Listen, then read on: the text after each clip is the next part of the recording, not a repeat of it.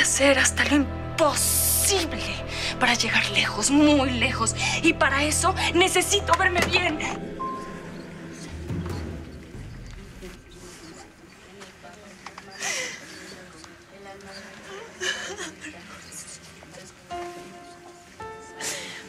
Yo sé que me escuchas ahí en el cielo. Es donde te mereces estar. Allá cuídanos, hermana. Ayúdanos a salir de esta miseria.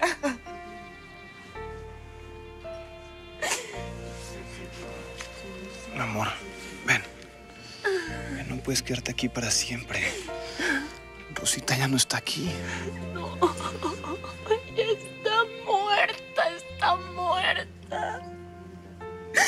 Y no me creo esa basura de que murió por la enfermedad, no me la creo.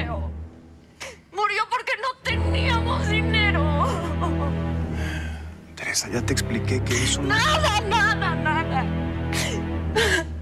Si desde niña se hubiera alimentado mejor, si hubiera visto al médico constantemente, si hubiera vivido en mejores condiciones de vida. Mi amor, mi amor, nada de eso hubiera evitado lo que le pasó a Rosita. Ella tenía esa enfermedad de nacimiento, ya te expliqué. Por desgracia, nada podía haber hecho.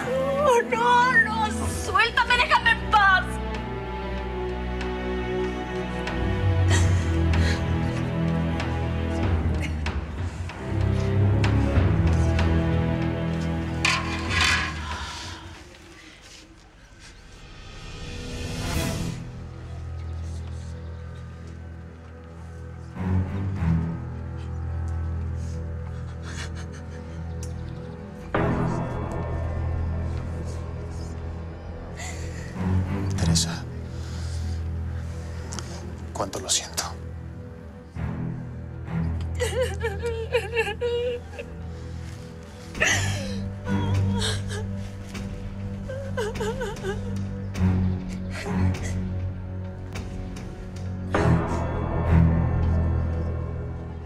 Aurora, gracias por ayudar tanto a Teresa y a toda su familia.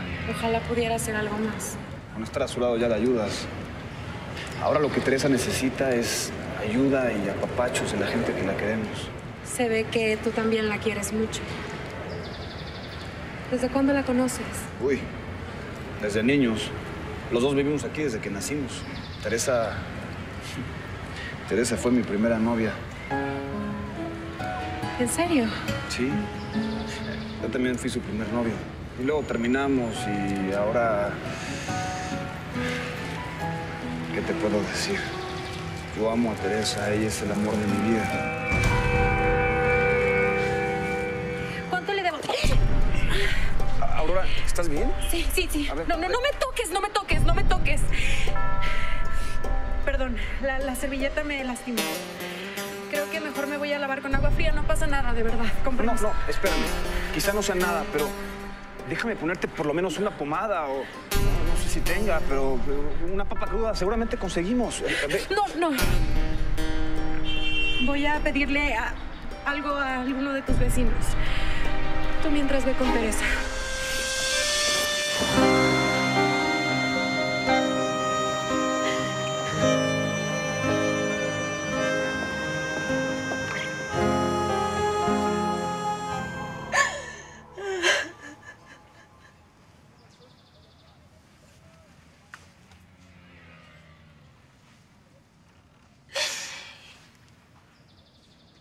Las cosas van a ser muy diferentes, Rosita. Te lo juro. Yo tengo que salir de este lugar. Yo no me merezco estar rodeada de toda esta pobreza.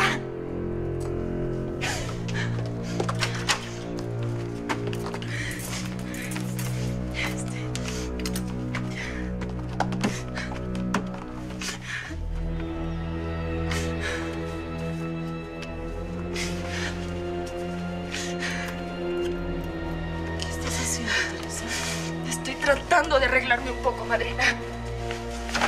Me veo horrible, estoy toda ojerosa, demacrada y encima vestida de negro. Ya, ya, ya, ya. Teresa, todo esto ha sido muy doloroso. Y es normal que te sientas así. No, no, no, no, no es normal. Porque yo no me voy a quedar de brazos cruzados como todos llorando la muerte de Rosita, no. Yo no voy a volver a sufrir algo así por culpa de la maldita pobreza. Pero la pobreza no tiene nada que ver. Ay, tú bien sabes que sí, madrina. A la gente rica no le pasan estas cosas. Así que a partir de hoy, ya no más luto. Ya, ya no voy a seguir lamentándome. Ya. Voy a hacer hasta lo imposible para llegar lejos, muy lejos. Y para eso necesito verme bien. Necesito Hija, verme bien. Hija, hija, ven, siéntate, siéntate, por favor. Rosita se acaba de morir. Por respeto a su memoria, tienes que guardarle luto. El luto lo llevo en el corazón, madrina, no en la ropa. Por lo menos espérate a que terminen los numerarios. Hazlo por tus padres que también están sufriendo. Ni un día más, madrina, ni un día más.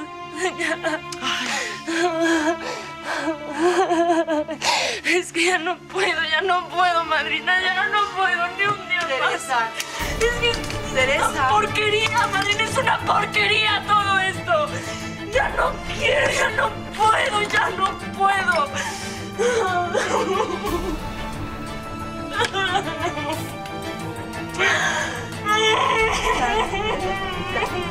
ya.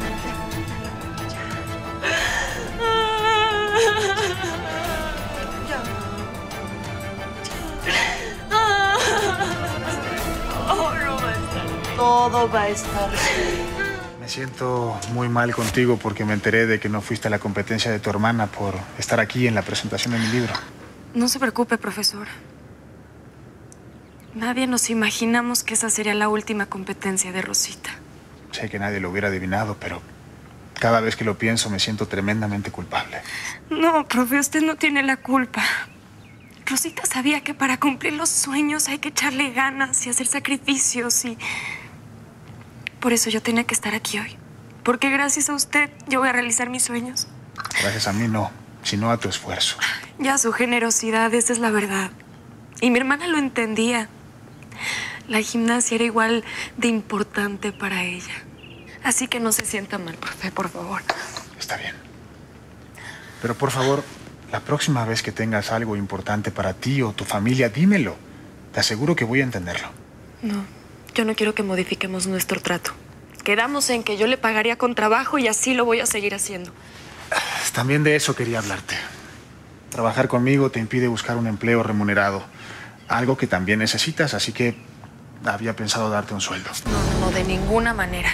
Ya bastante deuda tengo con usted y yo sé perfecto cuánto cuestan las colegiaturas de la universidad. Te recuerdo que yo también fui estudiante. Y sé que esos no son los únicos gastos. También está la cuestión del transporte, libros, material. No, yo no puedo aceptarle dinero. Y le ruego que no me lo vuelva a mencionar. Entienda.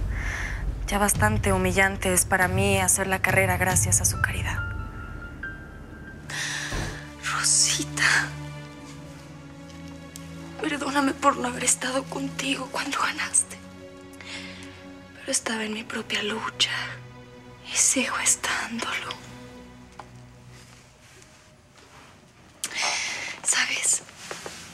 Tengo garantizado el pago de mis estudios. Pero voy a hacer que Aida pague por todas las humillaciones.